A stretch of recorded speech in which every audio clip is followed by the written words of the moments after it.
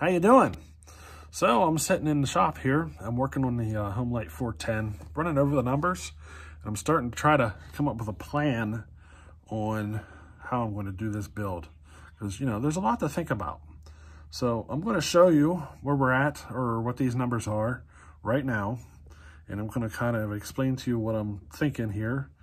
Um, I'll, I'll, I'll, try to give I'll try to give you a little bit more detail and hopefully I can explain it correctly because sometimes you get your words mixed up and you know it, it, I have difficulty putting it into words sometimes so I'll do my best but you know um, this is how I think of it this is the, these are the, basically my thought process this is the stuff I don't usually put on video uh, you almost never see me mention some of this stuff so you know, this is probably going to be one of the only times you ever get to hear me speak of this. So I hope you enjoy this.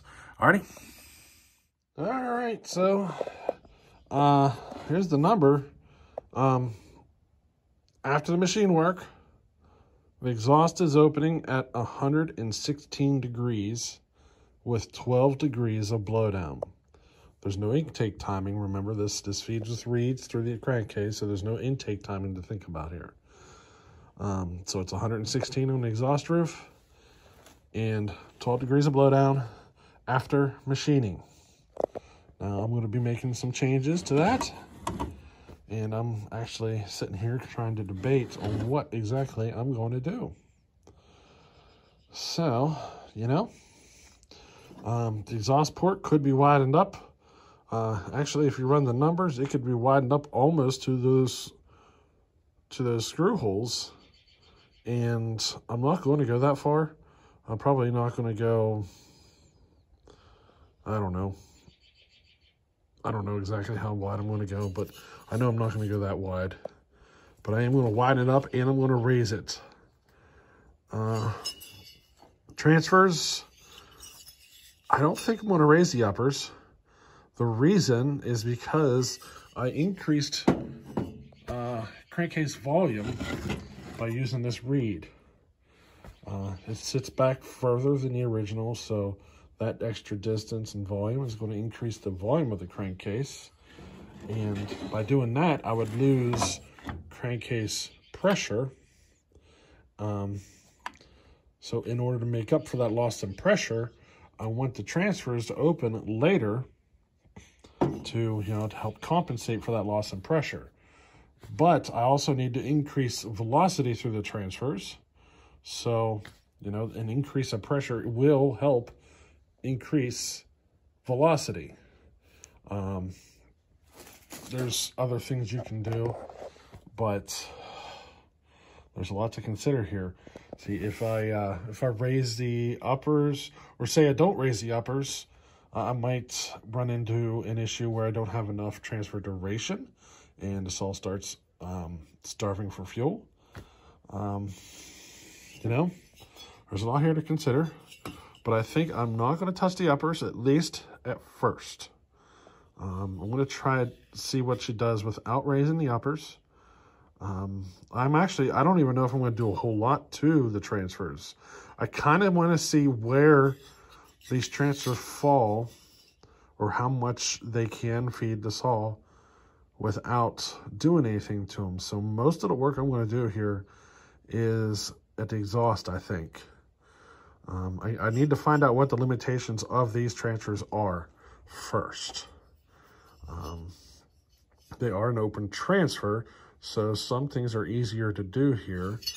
Uh, it's like, for example, uh, I mean, it's kind of common, people talk about a lot, how it's better to widen the exhaust before you raise it. Um, if you widen it, you will increase RPM, but your power band will be broader um, and you, you'll have a little more torque. Well, you kind of get a similar effect by raising the transfers. Uh, you know, you go higher, you kind of lose some of that broad power band and stuff, and you're actually better off to go wider before you go higher. But it's also hard to make those decisions before you um, before you know what the limitations are, you know? And you don't know what the limitations of the transfers are until you get the exhaust set to a certain point and run it. Uh, and then you got to see if the transfers can feed it at those RPM. Um, for example, as RPM increases, or should I say, as horsepower increases, you need a larger volume of fuel in order to create that horsepower. You know what I mean? Um, so how do you get a larger volume of fuel through, you know? Uh, some people will increase the duration of the transfer, which is coming by raising it. Uh, but it is typically better to go wider first. The problem with going wider is like with uh, with a, a closed transfer system, um, you could temp you could technically make like an hourglass shaped transfer, which will hinder performance. You don't want an hourglass shape. You want it to be more of like a like a pyramid shape. You know what I mean? You want it to be a little skinnier at the top than it is at the bottom. Uh, you don't want that hourglass because it, it can really hinder your flow characteristics. So, you know, doing that kind of a design is easier with an open transfer. Now, if you're worried about the power losses of an open transfer, um, you see back in the 70s, there were dyno runs done on closed port, port versus uh, open port. And those dyno results showed that you can achieve the same peak horsepower on either design. The the or yeah, the closed transfer ports though had a broader power band. And that's why you see the uh, the closed port transfers kind of gain their proper their, their popularity is because they give them a more useful RPM range, a broader power band. But, you know, these reed saws, they already have a broader power band. So, you know, I'm thinking about doing some stuff here. Like, one of the reasons I don't think I'm going to go as wide on the transfer is because you see this little look here i'm thinking about taking it off but that will affect the direction of flow of that transfer. So maybe I could come in here and remove some of this. And that should actually help enhance the flow in the direction we want it. Right now, the shape of it, it is directed more towards the center. This one is directed more towards the back. Now I could take this one a little further over and bring it down to here, that would change the direction of this flow a little more towards the rear. You know, going wider. But say I do open it up that way down here, but I leave it the same at the top, then I would end up with a pyramid shape. But I got to be careful with the flow because I don't want fuel to come in and kind of end up in a swooping kind of mess in here because then that'll hinder flow.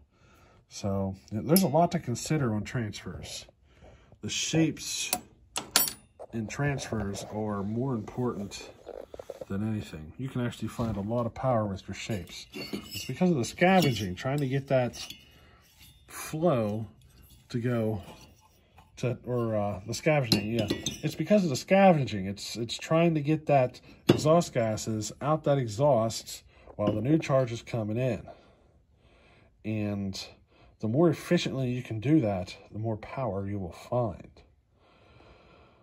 Um, another thing you don't want to forget about here is, like, say we're, we're increasing the RPM of this saw. Um, and the more RPM you create, the shorter amount of time the transfer is physically open. I'm not talking degrees like on your degree wheel. Um, because that I'm not that, that has nothing to do with what I'm talking about. I'm talking like imagine this is a clock and we're talking seconds. So as RPM increases, the amount of time they are open and capable to flow is less. So You know, that's where you want to change some things to help get more flow. You go wider, you can increase your duration by going higher, um, you know. And another thing you can consider is increasing your crankcase compression. Um, you know, the pressure in the crankcase. Because the higher you run that pressure, the faster it will flow. It'll help increase velocity. And whenever you really want to try to get some RPMs, you really not need to think about that because um, it takes a lot of velocity to move that fuel in the amount of time that that's open. And as horsepower increases, you need to increase the amount of fuel, but it's not like a steady steady increase. Um, so as horsepower goes up, the the increase on the amount of fuel you need goes up steeper and steeper and steeper and steeper. So, you know, there is a lot to think about here in this port work. A lot. And after you build a few of them, a few of the same saws, it's not hard to kind of figure out the sweet spot, you know? But this is the first one. This is the first one of these I built, and I'm trying to get it as close as I can the first time out, you know? So I got a lot to think about here to decide on. And you know, to get ready for this port work. Uh, another thing you need to consider here, I forgot about, you need to think about your squish. Um, think about the speed at which the charge will flow across the squish band. This is called your squish velocity. So it's it's basically the, the speed in which your charge is going to move across the squish band to get into the center. Now, the wider your squish band, this is going to help keep the engine cool. But if you run a wide squish band that's really tight, um, as your piston comes up, the fuel has to travel a further distance to get into the center. And if your velocity of your squish, your squish velocity is off, meaning the, the velocity or the the uh, the distance this has to travel versus how fast your piston's coming up, and the speed of it and everything, if you don't get that right, you're going to create like hydraulic pressure basically slowing you down because you wouldn't have gotten rid of all the fuel in here that you needed to. You wouldn't have got it all moved, to the center. And it'll create a, uh, negative effect by, you know, slowing you down. It'll, it'll act like hydraulic pressure and slow your piston down as it's coming to the top.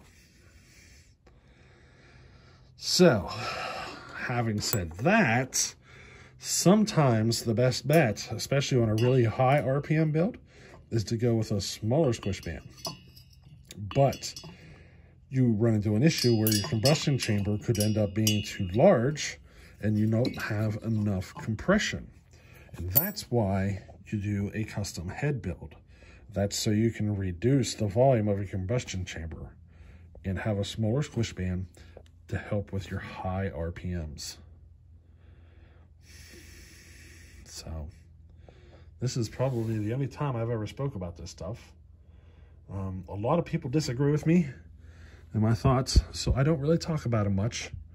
I just kind of keep that stuff to myself, but I figured I'd put it in this video for you and,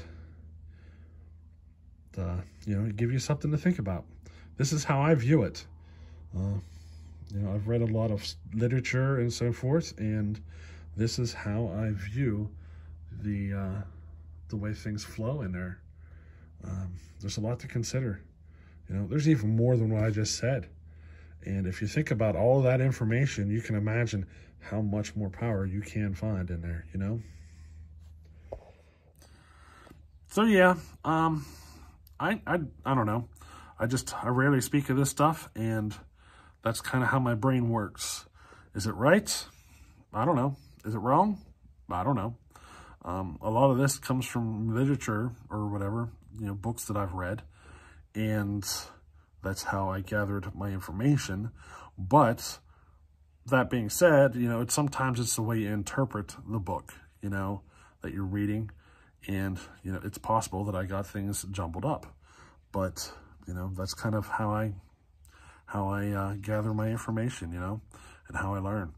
So I hope you enjoyed this little video, this little horrible explanation, but I'm going to really think about this port work I'm going to start chiseling at it a little bit at a time.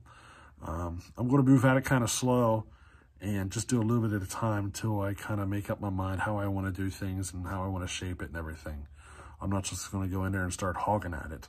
Uh, I'm going to go in there and do a little bit of work, look at it, think about it a lot, you know, because I'm trying to, to hit this one the first time out, which I'm probably not. Um, it's rare that you do, so, you know, but it's it's kind of a challenge for me, I guess you can say. I'm kind of, I get, well, let me say that this way, like, like, like I'm challenging myself to be able to hit this saw that I've never built the first time out. You know what I mean? I'm creating a challenge for myself. But I hope you enjoyed this little video, a little explanation of what's going through my head on this. And we'll see you on the next one. Later.